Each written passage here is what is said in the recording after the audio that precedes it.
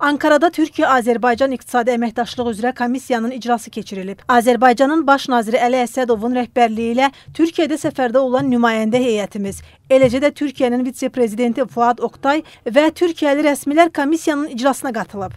Azərbaycan və Türkiyə rəsmiləri ölkələr arasındakı əməkdaşlıq perspektivlərini müzakirə ediblər.